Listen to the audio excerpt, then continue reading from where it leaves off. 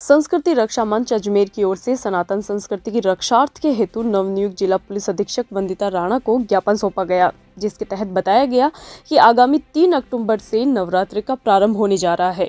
इन दिनों में कई जगह डांडिया की गरी का भी आयोजन रहता है। पिछले कुछ समय से देखा जा रहा है कि कुछ इवेंट कंपनियाँ दो चार दिन के इवेंट कार्यक्रम का आयोजन करती है। इनमें से कुछ कंपनियाँ तो गैर हिंदू भी हैं। कार्यक्रम का नाम ये डांडिया ये रासलीला रखती है। इसके लिए ये पास की सुविधा रखती है।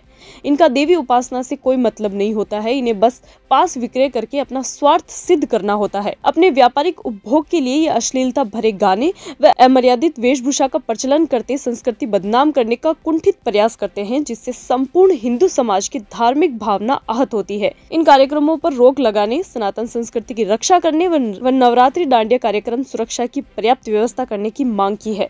आज संस्कृति रक्षा मंच के कार्यकर्ताओं द्वारा, जैसा कि आप सबको विदित है, आगामी तीन अक्टूबर से माता जी के नवरात्र प्रारंभ हो रहे हैं और विगत कई सालों से देखने में आ रहा है कि माता के गरबों के नाम पर इवेंट कंपनियाँ बिल्कुल पूर्णता पूर्वक कार्यक्रम करती है और इस हिंदू संस्कृति का हनन करती है। हमने प्रशासन से मांग की है कि ऐसे भी किसी इवेंट कंपनी को इसकी परमिशन नहीं दी जाए और जो भी आयोजक ऐसे गरबा आयोजित करेंगे उन सबसे भी निवेदन किया है कि अपने गरबा पंडाल में किसी भी विधर्मी को प्रवेश न दें और पंडाल में प्रवेश के पूर्व तिलक लगाए, गौमूत्र और गंगा जल का चरनामा देकर ही उनको प्रवेश करें, ताकि किसी भी तरह की कानूनी व्यवस्था नहीं बिगड़े। अगर उनके पास गंगा जल की व्यवस्था नहीं है तो व्यवस्था संस्कृति रक्षा मंच के कार्यकर्ता करके उनको देंगे, वे हमसे संपर्क करें। और अगर कोई भी विधर्मी ये न्यूसेंस करता पाया गया तो कार्यकर्ता उनको कानूनन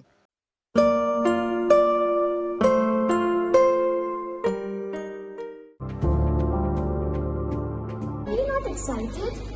Holidays will be very boring for me.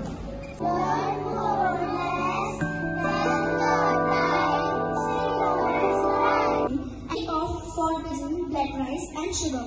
This black rice has a very unique flavor.